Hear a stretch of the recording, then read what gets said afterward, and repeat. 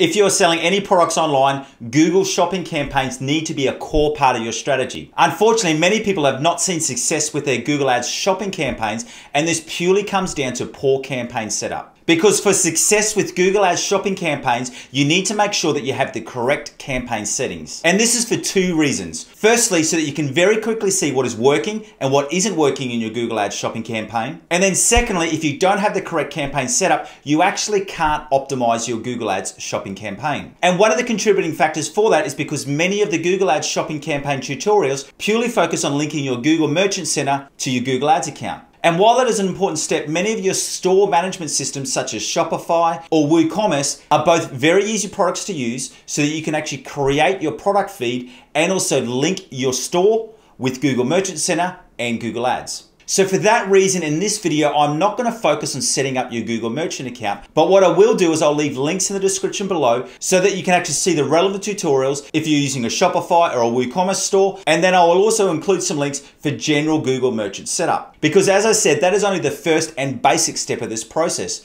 Because where you're gonna see most value with your Google Ads shopping campaign is making sure that you have the correct campaign structure and settings from the get-go. And if you don't have the correct structure and settings from the start, you will just be willingly giving money to Google, which they don't need. If we haven't met yet, my name is Aaron Young and I'm your 15,000 hour Google Ads Master. And today I'm going to go through the account and campaign settings which I've successfully used for shopping campaigns for brands like this and this. When we talk about Google shopping campaigns, I want to make it clear that I'm talking about standard shopping campaigns. And I'm not talking about smart shopping campaigns or so called smart shopping campaigns. And that is because I much prefer standard shopping campaigns because you're actually able to manually optimize and target your campaigns. But also the second reason why we're not going to be covering smart shopping campaigns because as of late 2022, they're going to be replaced by Google's new Performance Max campaigns. Before we start discussing the correct structure and settings for your Google shopping campaigns, you need to remember how Google displays Google shopping campaigns and the fact that they are very sensitive to price. And what we mean by that is that all of your shopping ads actually include the product price. So if you have a competitor or a reseller who is selling the same or similar product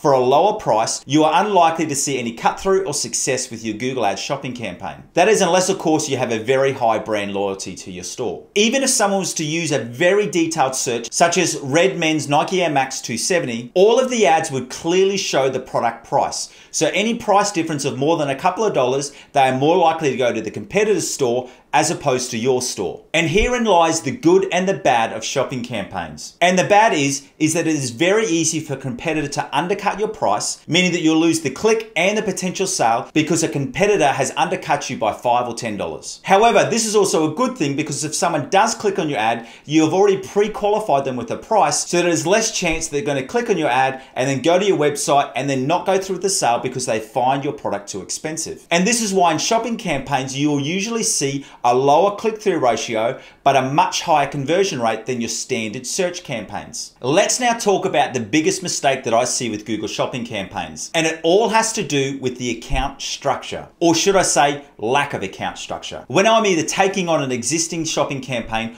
or reviewing a shopping campaign, the single biggest issue that I see is that the campaign is set up to have all of the products in one single ad group. And this means that the account has been set up with no product segmentation. Your shopping campaign should follow the same best practice of structure as your search campaigns, in that your shopping campaign should have multiple ad groups with each ad group only targeting one similar group of products. So if you're setting up a Google shopping campaign to sell mobile phone accessories, you should have a campaign structure which looks something similar like this. We have an ad group which is solely focused on selling iPhone cases, and then another ad group which is solely focused on selling Samsung cases, and then you have a separate ad group for selling iPhone charging docks, and then another one for Samsung charging docks. And this campaign structure is really, really important. And the reason for that is that it allows you to quickly go through and see which ad groups and product groups are performing well and which ones actually need more time and more optimizations. And this is especially important if you have hundreds or thousands of different different products. You need to have clear product groupings so that you can quickly see which product groups are performing well, as opposed to trying to scroll through hundreds and thousands of different individual products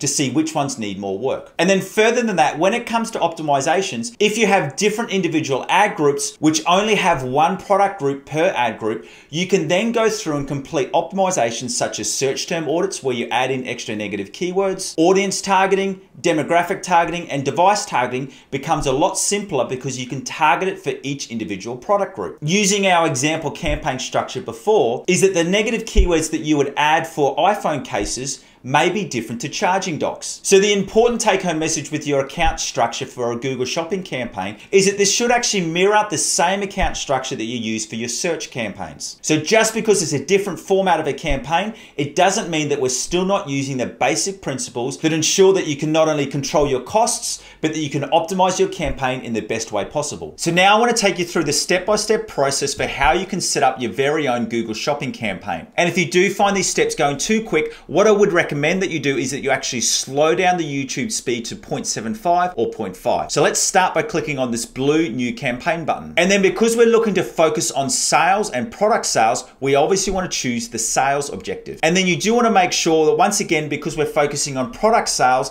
is that you actually have some purchases goals already set up in your account and then you press continue. And once again, if you don't have these set up, if you go back to Shopify or WooCommerce, they have easy step-by-step -step guides on how you can set up this tracking for your own store. And then we wanna go through and select the shopping campaign. And this is where you'll then see your Google Merchant Center account linked. And then we wanna go down and make sure that you select the standard shopping campaign. Now, depending on when you're watching this video, this section may be slightly different because as you can see here, the smart shopping campaign is actually being phased out. So just make sure that you're selecting the standard shopping campaign and then press continue. And then from there, we enter in our campaign name. And for this example, we're just gonna use product sales. Now, when it comes down to bidding, if you don't have any account history, I recommend that you're doing the manual CPC and optimizing for conversions. And what this does is this does turn on some automated bidding from Google so that it can look to actually tailor your bids when there is more traffic. And once you have enough conversion data, you may want to switch this over to conversion value. But as I said, we want to start with optimize for conversions. And then we want to go through and set up our daily budget. And remembering our daily budget runs on a monthly average. So if you're wanting to spend $300 a month, you would add in your daily budget at $10 a day. Now for your campaign priority, you only need to change this if you're running more than one Google shopping campaign. As you can see through here,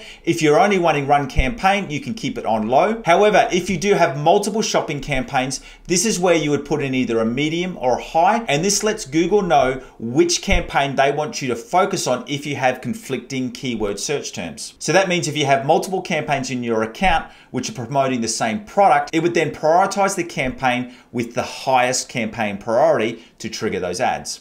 And then the next option is for your targeting. When it comes down to the search network, I generally unselect this. Now, this is not a big one if you do want to keep it selected, but the reason for why I personally unselect this is that I find that I get more data from the Google search network as opposed to the partners. And another reason is, is that I've never actually found any additional benefit by including this option. And then we want to go down to our locations. Now you can keep it for your individual country, or if you want to add other locations or even smaller parts of a country, you can add it in here. So for example, if we did not want to target all of Australia, but just certain states, we could add these in here. And that is the same for wherever you're based. In regards to start and end dates, if you've got an upcoming product launch and you're setting up this campaign beforehand, this is where you can actually go through and add in a date, whether it be 7, 10, 14 or more days ahead, if you want the campaign to start on a specific date. And then you want to go through and add your ad group. Now, when you get to your ad group, Google will give you the recommendation of only adding in one ad group, which is why many people only have one ad group with all of their different products running in it. But as I said, the best practice is to actually have multiple ad groups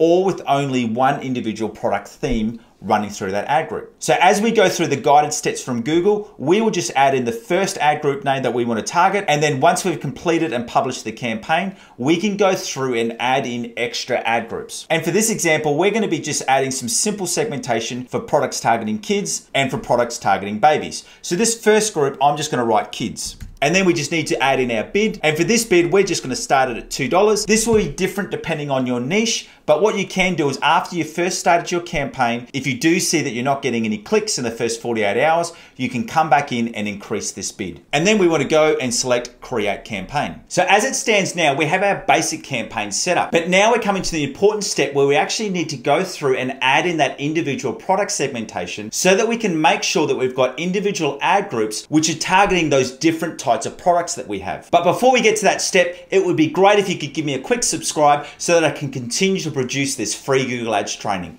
Thank you so much. So as it stands right now, we just have our individual campaign with one ad group. And we wanna go through and add multiple ad groups so that we've got individual product groups being targeted in those individual ad groups. For this example, I'm just gonna add two ad groups, one targeting kids products and one targeting baby products. And that's so I can just show you the process of how this is completed. But in your shopping campaign, you may have five, 10 or 15 different ad groups, depending on the number of products you're selling and how you wanna group those products together. The main point that I would be looking at is thinking about it from a searcher's point of view and what search terms would you use for those individual product groups. So firstly, what we wanna want to do is we want to go into this kids ad group, which we have, and then we want to go to product groups. And then from here, you'll see all products. Now, when we hover over all products, you'll see this little plus sign. It's just a matter of clicking on this, and then this will add the subdivision. Depending on whether you're using Shopify or WooCommerce and what your product feed looks like, you have a number of different options of how you can filter your different products. The most common one I use is either your brand, but you can see for this example, our brand has thrown all of our products into one group. So then we can go through and try the item ID. And then you can see from here, we have all of our different multiple products. So we just want to put in a filter for kids and then we select all of these products which have come up and then we want to save without editing bids. And then the important step is, is that when you see everything else in all products, you want to select this and actually go exclude. And by excluding all of those other products, this is ensuring that in this ad group, we're only going to be showing products that are related to kids. So the next step is, is that we want to go through and add another ad group. So we go back up into our campaign, into ad groups, select create ad group. We want this one to be targeting our baby products. So we write in baby. And then after we've added in our bid, we go through the same process. We look at this all products, press add subdivision. As we said before, you can either use category or brand ID or product type. But for this example, we're using the item ID. And this time we're just typing in baby, which then brings in all of our baby products. We select all. And once again, we save without editing bids and remembering that final last step where we need to actually go through and exclude everything else in the all products section. And now we have our shopping campaign where we've got that product segmentation. So we've got all of our products which are targeting our baby products in one ad group and then all of our products which are targeting kids products in our kids ad group. And what this allows us to do is that once we've had our campaign up and running and we're starting to get some different clicks and impressions, we can go through our keywords and we can add individual negative keywords. So for example, with our baby products, we know that we don't want kids products, so we could add a negative keyword of kids. And then on our kids ad group, we could actually go through and add the negative keyword of baby because we don't want any baby product related searches to appear in our kids products. And as we get more and more information in our campaigns and our ad groups, we can go through then and add some extra audience targeting and device targeting if we know this is going to be beneficial for our individual product groupings. So for this example, straight away when we're looking at our babies, we know that it would be beneficial to add audiences at the ad group level, which are going to be targeting parents of infants and baby and children's products. But then for our kids ad group, we want to be going through in the ad group level again and adding audiences which are targeting the kids age bracket. So parents of preschoolers and parents of grade schoolers and then pressing save. So while the campaign setup does take a little bit longer by adding in those individual ad groups, with those individual product groups, it will make your Google Ads shopping campaign much more profitable because then it allows you to create some extra audience and demographic targeting, which is best suited to your individual products. It also allows you to properly complete your optimizations at that ad group level because if you have all of your products in one individual ad group, you can't add negative keywords because if you're adding negative keywords to the whole ad group, you may be blocking out key searches for high selling products. And when it comes to optimizing your Google shopping campaign, what I've actually created for you is my optimization checklist. And this is a checklist which you can use, which lets you know what you need to optimize in your shopping campaign every 72 hours every week, every month, and every 90 days. And if you want to get your free copy today, all you need to do is follow the link in the description below to get your copy. And if you would like to learn more about how to optimize by audiences, demographics, and keywords in Google Ads, why don't you go through and watch this video right here. Once again, it's been a pleasure teaching you and I look forward to seeing you on our next video. See ya!